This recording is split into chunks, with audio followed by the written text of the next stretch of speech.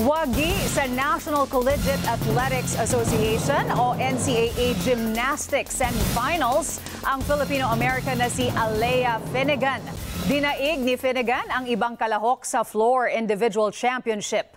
Nakadagdag momentum kay Finnegan ang panalong ito para sa pagsabak niya sa 2024 Paris Olympics.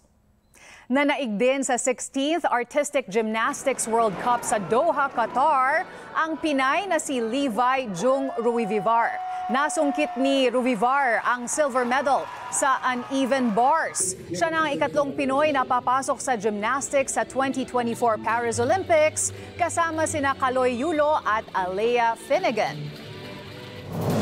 Tuloy-tuloy po ang ating pagpapatrol sa bayan mula lunes hanggang biyernes sa TV Patrol. Alas 6.30 ng gabi hanggang Sabado at Linggo sa TV Patrol Weekend. Sa bago nitong oras, alas 5.30 ng hapon.